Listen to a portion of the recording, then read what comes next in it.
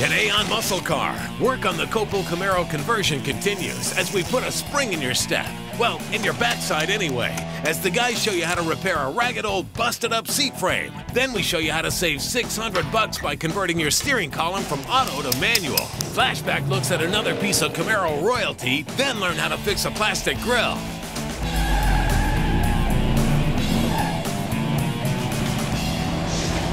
Hey guys, nice to see you. Today we're going to continue working on our 69 Copo Tribute Camaro and the time has come for us to start doing some upholstery work. We've decided to try and save our original seat frames, but we're obviously going to change the padding and the coverage because they're a little worse for wear.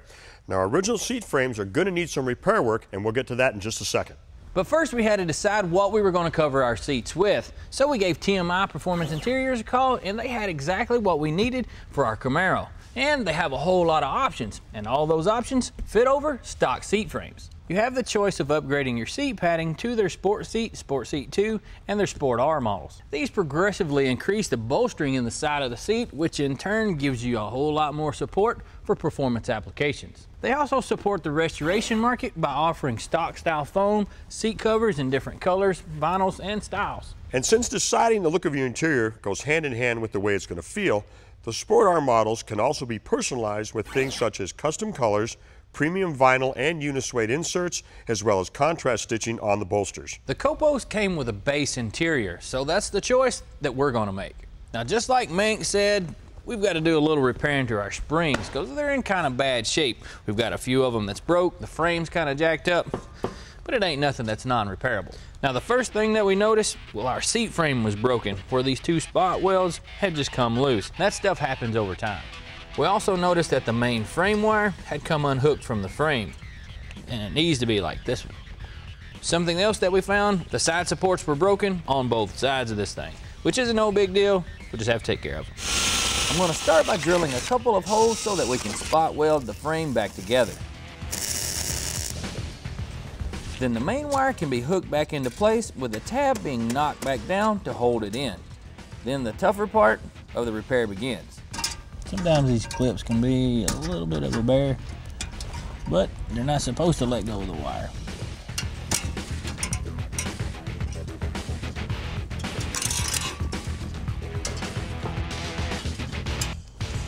Now to replace our springs, we went to a local upholstery shop and just got some spring material. The stuff isn't really expensive and it's a must whenever you're doing this type of repair because you can't simply weld the springs together because it's sprung steel and once you weld it, it's gonna crack on either side of the weld. You wanna be careful with these tabs when you're putting them back into place. They've been known to break off before. Now the old clips that we took off, you could reuse them again, but heck, they make new ones. We just picked these up at the local upholstery shop where we got the new springs. This stuff is really and truly not all that expensive, so while you're there, just go ahead and pick up a few of these and get some extras just in case you kind of consume or waste a couple, if you know what I mean. Okay, with that done, now I've got to cut this excess off. Now, you could just cut it, but you're running a chance of where you've snipped it coming back through on your upholstery. It needs to be bent back like this one here. So I'm gonna use a torch and get it all hot so that I can pull it around and snip it off. And that also keeps it from slipping out of this clip. Well, there you go. That pretty much got our seat frame all repaired. Now all we have to do is install the foam, followed by the upholstery, and this thing will be ready to set in the car. And yes, we'll let the frame cool off before we start putting the foam and material over top of it. So don't send me any angry emails, please. Well, there you go, guys. We've had us what you would call a seat makeover. The springs are all stiff, the foam feels good, and when riding in this thing, it's not gonna feel like you're sitting on the floorboard. So, spend your little time and get yourself a set of these seats. Stick around to see how you can save big bucks on a column conversion. Then it's a small block sizzler and a plastic grill fix that you can do at home.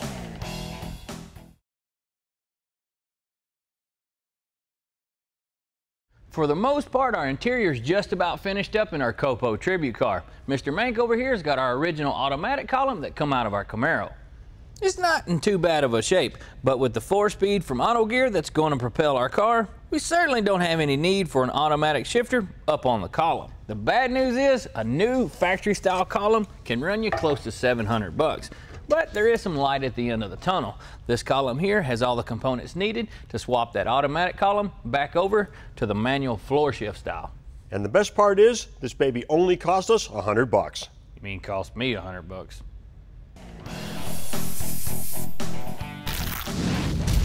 Build on a budget. Muscle car projects that save you time and money. Well, Mr. Mank, I'm going to let you kind of fiddle faddle with these steering columns because I've got a little bit of work to do on the Camaro. Good luck with it. May the power be with you and all that mushy stuff. First, we'll get rid of a bunch of easy stuff to remove, like the hazard knob and the shift lever, followed by the upper column mount bracket, which only has a few bolts. Then, the steering wheel has to come off. Trying to do this without a steering wheel removal tool is way more hassle than it's worth. So if you can get your hands on one of these, removers are well worth it.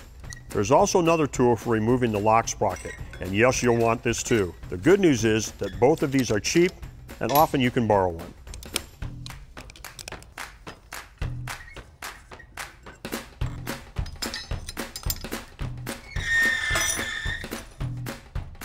The next piece to come out is the horn contact then the bearing and the retainer. That will let us get the turn signal cam assembly out.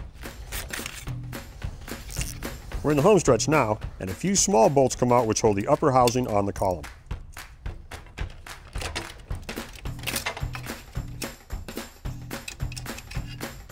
At this point, the steering shaft assembly is ready to come out. Then with a few taps of the hammer, we can remove the shifter collar. That's it. That's the piece we need to switch. Then guess what? Now the whole process has to be repeated on the old column. Hmm. Old parts like this, as you know, have a tendency to decide that they prefer the company of one another, and it makes it hard to get them apart. The good news is, we've seen how it comes apart once already on the other column.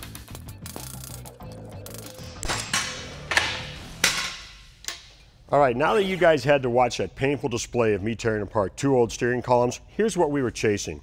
Our original column in the car was an automatic with the selector up on the column itself.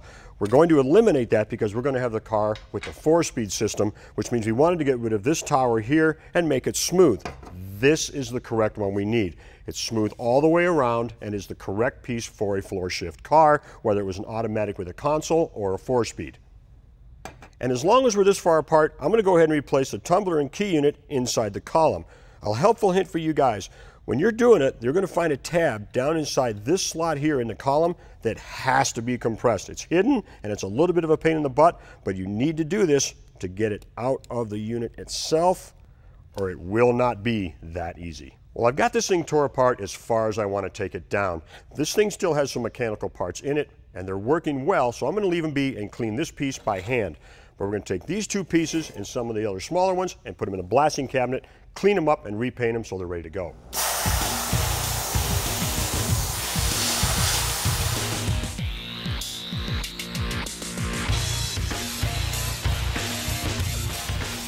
With a coat of black Duplicolor trim paint on the parts, reassembly can begin on our column. While we had it apart, we also made sure that all the bearings were clean, as well as re-greasing them.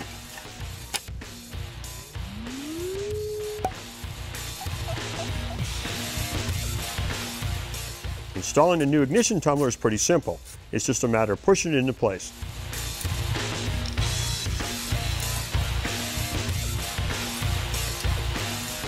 This little copper contact is the ground for the horn, and it has to be properly seated before the signal cam goes back in. Well, there you go. For the most part, our column is finished and ready to go. We had to do a little tedious work, but we did save ourselves several hundred dollars by doing so. We're going to get ready to put it in the car, but I'm going to leave the top off in case we have to make any adjustments to the tumbler or in case we have to do any circuit testing once everything's hooked back up in the car itself. We'll be good to go. Next, we've got a pony car bruiser for you that tested a man's brand loyalty.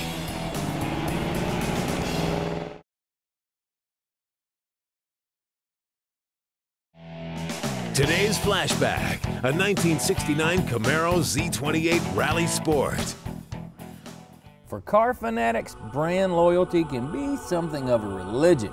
But sometimes love can make you do crazy things. Larry White was a true blue Ford man until a pretty little lady caught his eye. When we first started dating, I had a 1970 Ford Mach 1. And every time I'd show up to her house, pick her up on a date, her, her dad would rag me about having a Ford. So I finally broke down and, and decided to buy a Chevrolet to appease him. And I bought a 69 Z28 Camaro, Hugger Orange, just like this one. I actually learned how to drive a stick shift in that car. And we used to fight over who was going to drive. Specifically designed for Trans Am racing, it combines small block performance with road hugging agility, earning it the nickname the Hugger. The exclusive powerhouse was a Turbo Fire 302, designed to meet the 305 cubic inch limit of the Road Course series.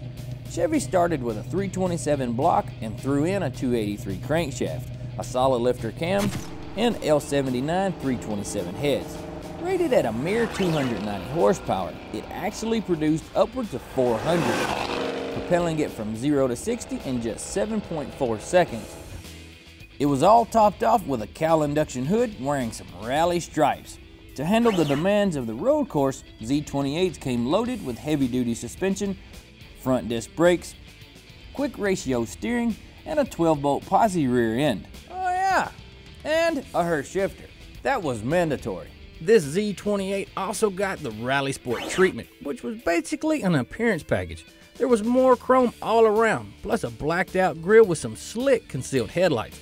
The tail panel was unique, with the backup lights moved down below the bumper. Inside this car is all dressed up with Indy pace car upholstery and wood grain trim. Rally gauges came mounted on the dash and in the console. A fold down seat also allows for a little extra storage. Camaro's got a subtle makeover in 69 to give them a more aggressive stance. The grille was now V-shaped, and the wheel wells and body panels were more squared off. Simulated vent moldings were added in front of the rear wheels. The first Z28s appeared in 67, but flew under the radar, and only about 600 were sold. In 69, more than 20,000 rolled out of the dealers. Larry had to get rid of his original Z to put himself through college. It may be long gone, but this restored one has done a good job taking its place. Every time we get in this car, it's like we're going back in time. it's like we're out on a date again.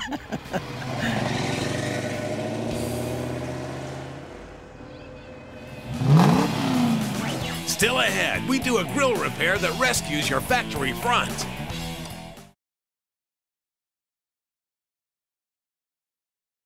Hey guys, I'm to a point that I kind of need to take a break from doing all that wet sanding and buffing on the Camaro, so I decided might as well get started on repairing the grill. We got a couple of gnarly spots, but luckily for us, they are repairable. The first step we're going to move into is removing the trim off of it because we're going to end up having to paint this thing, might as well get it out of the way. Just kind of wiggle this stuff off, don't put a whole lot of pressure on it because you don't really want to tweak this stuff because it's a bear to try to straighten back out. Here's another little tip for you. If you're taking things apart, put them back together. I know it sounds pretty simple, but this way, if it's already back together, you can't forget how it goes back together.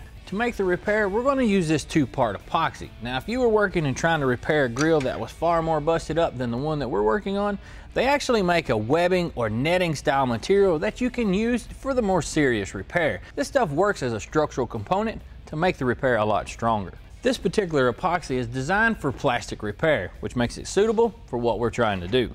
Now we're ready to move on to the sanding side. I'm going to use this custom sanding block that I made, which is actually just an old stir stick with a groove cut in it and a piece of 80 grit.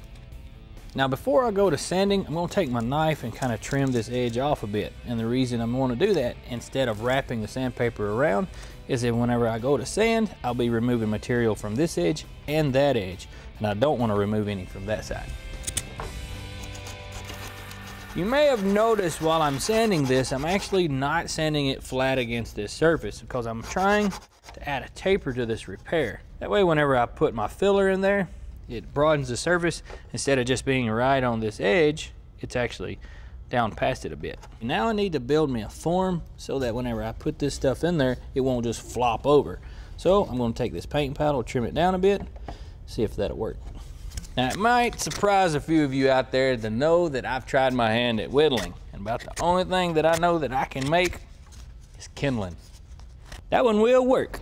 Now, before you start applying the epoxy onto your repair, it's a good idea to squirt out a decent amount to ensure that the stuff is mixed properly. I know that's a little excessive, but I can come back and trim it and shape that stuff.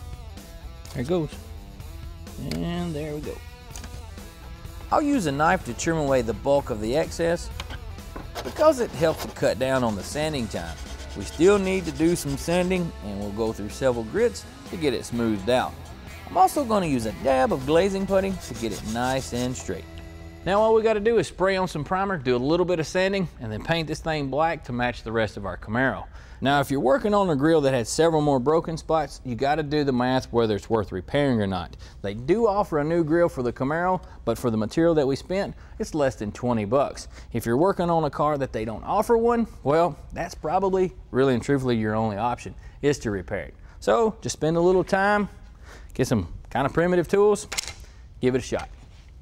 If you've got any questions about anything you saw on the show today, Go over to powerblocktv.com.